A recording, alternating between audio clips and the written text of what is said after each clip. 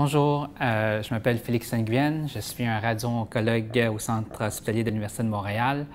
Euh, une des questions qu'on peut se poser, c'est euh, quelle est la trajectoire typique d'un patient qui est atteint d'un cancer de la sphère ORL? de nos jours, en fait, souvent les patients sont évalués la première fois dans un centre qui fait ce genre de traitement-là de façon conjointe avec euh, différents spécialistes. Euh, de façon typique, le patient euh, est évalué par un chirurgien ORL et un radio-oncologue à la même clinique en même temps. pourquoi? Parce que historiquement, ces cancers-là ont soit été traités par de la radiothérapie ou de la chirurgie. puis d'habitude, ces deux spécialistes-là ont une formation complète et adéquate pour juger euh, de quel est le meilleur traitement. Euh, donc, la première chose qu'ils font, c'est qu'ils s'assurent que euh, toute l'investigation a été complétée. après ça, souvent, ils vont se concerter entre, entre eux autres suite à, à, l'examen et au questionnaire quant au meilleur traitement pour le patient.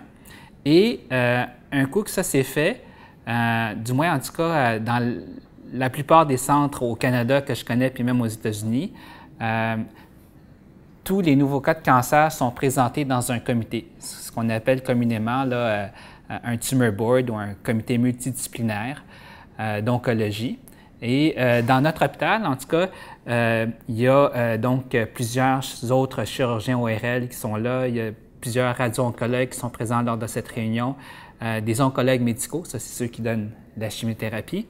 Euh, il y a aussi des radiologistes qui vont reviser euh, l'imagerie du patient. il y a aussi des spécialistes en médecine nucléaire parce que souvent on doit faire des TEP scans. parfois, dans ces tumor boards-là, il va y avoir des chirurgiens maxillofacial, des dentistes, des pathologistes. Et dans le fond, on revise le dossier au complet et le cas est discuté entre ces différents spécialistes-là, ils vont euh, généralement arriver par la suite à une recommandation quant au meilleur traitement.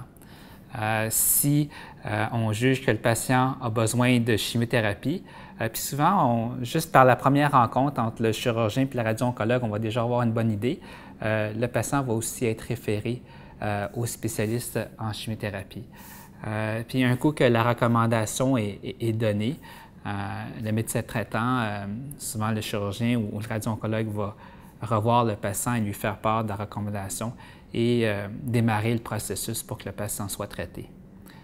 donc, le message ici, c'est pour dire que la décision de traiter un patient est, vraiment généralement faite en équipe de nos jours. Du moins en 2017, c'est assez rare que c'est une seule personne qui va déterminer ce qui va être fait pour le patient. Puis ça, c'est rassurant. Euh, que dans le fond, il y a différents intervenants euh, qui vont s'assurer euh, que le dossier au complet a été bien peaufiné, puis qu'on puisse arriver justement à la meilleure recommandation possible.